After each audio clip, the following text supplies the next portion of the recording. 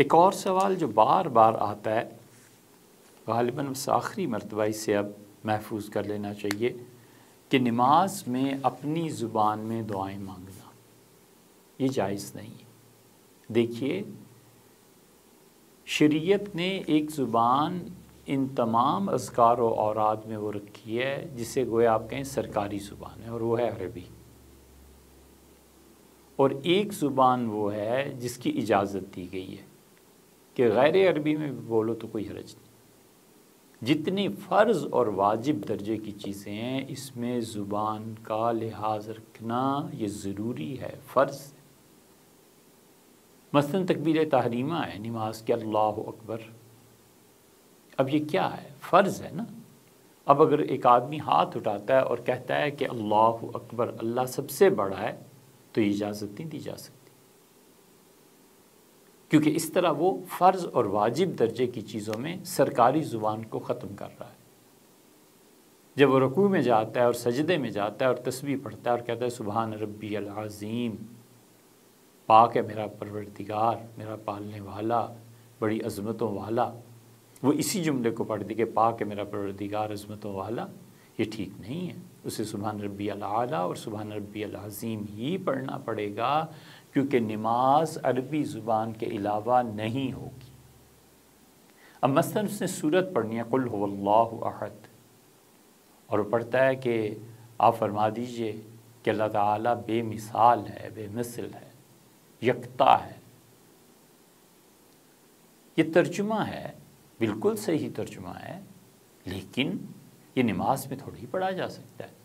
अगर फ़र्ज़ और वाजिब अजकार की ज़ुबान तब्दील करने का इख्तियार दे दें और लोग इस पर आ जाएँ तो कुरान करीम के तर्जमे को लोग अदा करेंगे।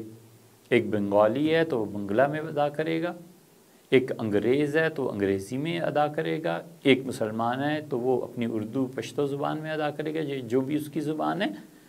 तो होते होते ये दीन की बुनियाद जो है ना कुरान करीम और हज़रत रसालत माब अलैहि वसल्लम की अहादीस ये सब की सब एक ज़ुबान, दूसरी ज़ुबान, तीसरी ज़ुबान कुछ का कुछ हो जाएँगी। तो रात और इंजील में क्यों बिगाड़ आया? आसमानी सहीफ़ों में क्यों बिगाड़ आया? इसलिए कि उन्हें इजाज़त मिल गई थी उनके उलमा और मशाइ की तरफ़ से कि जितना कुछ तौरात और इंजील में आया है ना, इसे अपनी ज़ुबान में पढ़ लिया करो।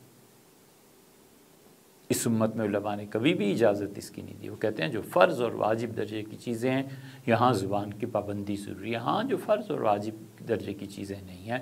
मसलन एक आदमी बैतुलखला में गया, वाशरूम से वापस आता है। हजूर अकदस सल्ला वसम ये फरमाते थे कि, गुफ़रानक अल्लाह मुझे मुआफ़ फरमा। उस आदमी को गुफ़रानक कहना मुश्किल है। कहना तो उसे चाहिए अरबी में ही। हजूर अकदस सल्ला वसम की मोहब्बत, ताल्लुक़ की वजह से। लेकिन फ़र्ज़ कर लीजिए उसके लिए मुश्किल है या नहीं याद हो रहा और वो कहता है कि अल्लाह मुझे मुआफ़ फरमा। तो ये ठीक है। इसी की फ़र्ज़ और वाजिब के दर्जे की चीज़ें तो नहीं हैं। मसन कि उसने पढ़ना है कि अल्लाह मरहमनी अल्लाह मुझ पर रहम फरमा। तो उर्दू में ही कह देता है और वो पढ़ना फ़र्ज़ और वाजिब नहीं है। जैसे इंसान अपनी दुआओं में माँगता है अल्लाह ताला के नामों का तर्जुमा करके उससे माँगता है, बिल्कुल ठीक है, क्योंकि फ़र्ज़ और वाजिब नहीं है। अब आ गया आपका मसला, और मसला ये है कि नमाज़ में अपनी ज़ुबान से दुआ, यानी वो दुआएँ मांगने जो अपनी ज़ुबान में। मसन सजदे में उसने पढ़ना था कि अल्लाह अल्लाह रब्बी ला उशरक बही शैया अल्लाह और यकीनन अल्लाह ही मेरा परवरदिगार है, मैं उसके साथ किसी को शरीक नहीं बनाता अब इसे उर्दू में पढ़ दे और अरबी को छोड़ दे, ये चीज़ दुरुस्त नहीं है, नमाज़ टूट जाएगी। ऐसे ही दरूद शरीफ है। दरूद शरीफ के बाद उसने जो दुआएँ मांगनी थी, रब्बना आतिना फिर दुनिया हसना, उसने उर्दू में पढ़ना शुरू कर दिया, पंजाबी में पढ़ना शुरू कर दिया। तो ये नमाज़ की टूट जाएगी, नमाज़ होगी ही नहीं। दोबारा सिरे, नए सिरे से पढ़नी पड़ेगी।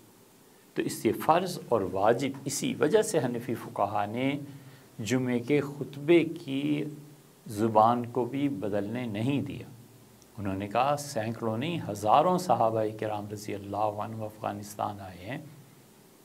ईरान फतह हुआ है। ईरान की जेर क़्यादत जितने इलाके थे फ़तह हुए हैं। खालिस वो इलाके जहाँ पे फ़ारसी बोली जाती थी। इसके बावजूद साहबा कराम रज़ी अल्लाह ख़ुतबा अरबी में ही पढ़ते रहे। ये हसन बसरी रहमत हैं, चार साल काबुल में गवर्नर रहे और हसन बसरी रहमत को फ़ारसी कुछ न कुछ आने लगी थी। इसके बावजूद जुमे का खुतबा ये हजरात हमेशा अरबी में पढ़ते हैं।